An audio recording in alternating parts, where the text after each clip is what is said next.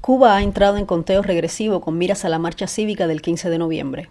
La policía política ha redoblado su hostilidad hacia los integrantes de la plataforma Archipiélago, pero también hacia periodistas independientes y activistas pro derechos humanos. El acoso a la sociedad civil, la amenaza de una brutal represión contra quienes se sumen a la protesta y el terror infundido a través de los medios oficiales de comunicación provocaron que los miembros de Archipiélago emitieran una carta a la Organización de Naciones Unidas. En la misiva denuncian el hostigamiento de que han sido víctimas y solicitan a la alta comisionada para los derechos humanos, Michelle Bachelet, que esté atenta a lo que pueda ocurrir el día 15 de noviembre entre un pueblo desarmado y la horda de policías y paramilitares convocada por el régimen de La Habana. Ante la posibilidad de que incluso niños y adolescentes sean utilizados contra los manifestantes pacíficos, el dramaturgo Junior García Aguilera ha tomado la decisión de marchar por adelantado y en solitario el 14 de noviembre, a las 3 de la tarde. Su ruta comenzará en el Parque El Quijote, bajando por la céntrica Avenida 23 hasta el Malecón. Archipiélago ha expresado su apoyo al joven y recomendado diversas acciones para acompañar la marcha del día 15, en caso de que las fuerzas represivas bloqueen el acceso a los puntos de encuentro establecidos. Realizar sentadas en los parques, aplaudir a las 3 de la tarde o colgar en puertas, ventanas y balcones prendas de color blanco son algunas de las muestras de apoyo a la marcha cívica por el cambio. Pese a la gravedad de las circunstancias, la oficina de Michelle Bachelet ha asegurado que va a monitorear de forma remota y no presencial los sucesos del 15 de noviembre. Su postura es consecuente con el historial de complicidad que la alta comisionada ha mantenido hacia el castrismo. Vale recordar que su pronunciamiento acerca de los sucesos del 11 de julio fue apenas una formalidad y que no incluyó a Cuba en el informe actualizado sobre las violaciones a los derechos humanos, presentado el pasado mes de septiembre en Bruselas. Por su parte, Josep Borrell, otro amigo incondicional de la dictadura cubana, ha declarado que estará atento a lo que ocurra durante la marcha cívica, luego de que varios eurodiputados le pidieran garantizar la presencia de representantes de la Unión Europea como observadores durante la manifestación. El alto funcionario no ha especificado aún si los diplomáticos europeos saldrán a la calle para acompañar a los manifestantes o lo harán también de forma remota, al estilo de Bachelet. En medio de estas variables inciertas, el único respaldo seguro será el de la emigración cubana, que ya se organiza en más de 100 ciudades del mundo para marchar el 15 de noviembre. También los administradores de redes clandestinas dentro de la isla se han preparado para evitar que ETEXA corte las comunicaciones como hizo el 11 de julio, para evitar que el mundo viera en directo los abusos cometidos contra manifestantes pacíficos. Con este fin, se han creado varios puntos de acceso vía Wi-Fi para mantener la comunicación en toda la zona donde operan las redes clandestinas y se están conformando varios servicios web locales para proteger la conexión en caso de que el monopolio estatal aplique un apagón total de Internet.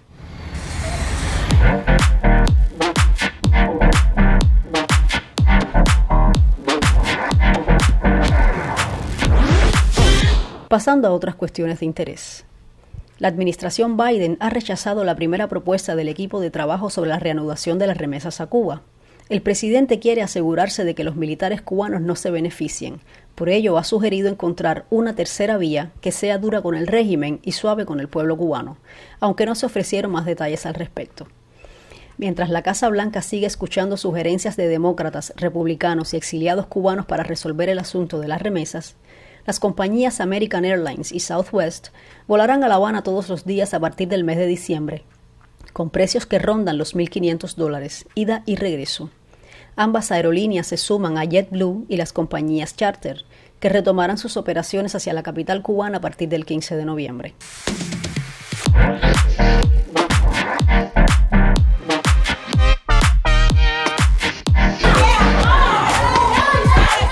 Cambiando de tema, esta semana las redes sociales sirvieron con las imágenes de la golpiza que oficiales de policía propinaron a estudiantes sudafricanos que celebraban una fiesta en la residencia estudiantil de la Universidad de Ciencias Médicas de Villa Clara.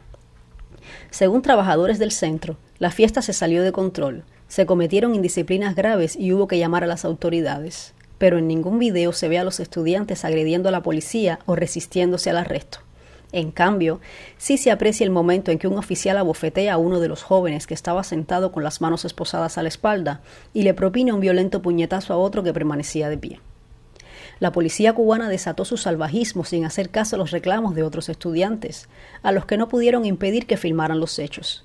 El escándalo ha dejado al régimen muy mal parado, pero el gobierno de Sudáfrica no parece dispuesto a tomar partido por sus ciudadanos y ha pedido que no se viralicen las imágenes para no dañar las relaciones diplomáticas.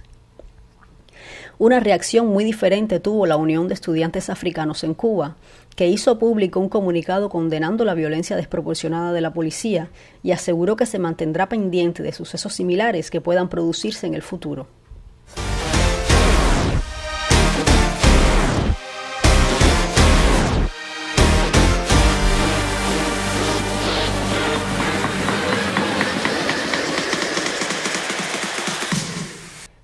El desabastecimiento en la mayor de las Antillas sigue siendo noticia. Esta semana las madres cubanas iniciaron una protesta en las redes sociales bajo el hashtag Leche para los niños cubanos. La escasez de este producto tan necesario ha afectado la cuota que reciben los niños hasta los 7 años y que según las madres estaba llegando con retrasos y alteraciones en el pesaje. Desde hace meses el régimen viene recortando el suministro de leche en polvo, primero a los pacientes que reciben dietas por problemas médicos, luego a las embarazadas y finalmente a los menores de edad. Ello ha traído como consecuencia el encarecimiento excesivo del producto, que en el mercado negro oscila entre 800 y 1000 pesos por una bolsa de menos de un kilogramo. Para calmar los ánimos, la ministra de Comercio Interior admitió que sí hubo faltante en meses anteriores y aseguró que ya el producto se está repartiendo en todas las bodegas del país. En otro orden de asuntos, la oposición cubana despidió esta semana al poeta, periodista y expreso político Raúl Rivero, quien falleció en Miami a los 75 años de edad. Recordado con afecto y respeto, Rivero estuvo incluido en la causa de los 75 del año 2003, conocida como la Primavera Negra. Excarcelado en 2004 gracias a la mediación de la diplomacia española, marchó al exilio en 2005 y desde allí continuó en su lucha incansable por la libertad de Cuba. Y cerramos con la crisis migratoria que esta semana cobró la vida de un niño cubano de 14 años.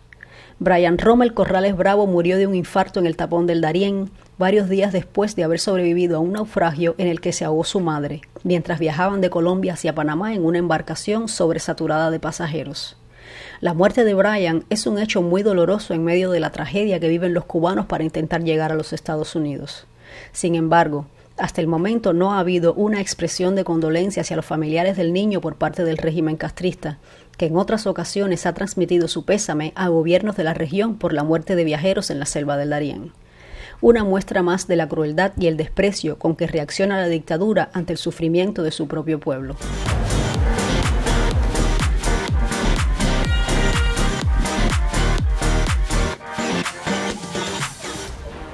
Ha sido un resumen semanal de las principales noticias publicadas en Cubanet. Visite nuestras plataformas para estar más y mejor informado sobre la realidad de Cuba.